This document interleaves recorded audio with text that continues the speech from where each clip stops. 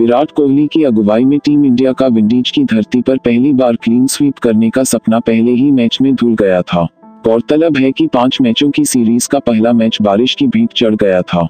अब सबकी नज़रें सीरीज़ के दूसरे वनडे पर हैं, जो पोर्ट ऑफ़ स्पेन के क्वींस पार्क ओवल में ही खेला जा रहा है। बारिश की वजह से टॉस में देरी हुई।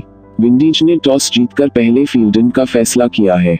बारिश के कारण हुई देरी से अब खेल 43 रिंग 43 ओवरों का ही हो गया है।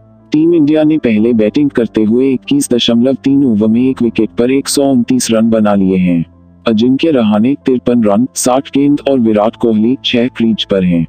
शिखर धवन ने तिरसठ रन, उनसठ गेंद, दस चौके, ठोके। उन्होंने उनचास गेंदों में विंडीज दौरे की दूसरी फिफ्टी पूरी की। धवन ने पहले मैच में भी 50 लगाई थी। रहाने धवन के बीच 114 रन की साझेदारी हुई। टीम इंडिया की ओर से एक बार फिर शिखर धवन और अजिंक्य रहाने की जोड़ी ने पारी की शुरुआत की। चौदहवें ओवर में धवन ने सिंगल लेकर दौरे में दूसरी 50 पूरी की। उन्नीसवे ओवर में शिखर धवन तिरसठ रन को एशले नज ने स्टंप आउट करा दिया। बीसवें ओवर में अजिंक्य रहाणे ने चौका लगाकर करियर की अठारहवीं फिफ्टी पूरी की।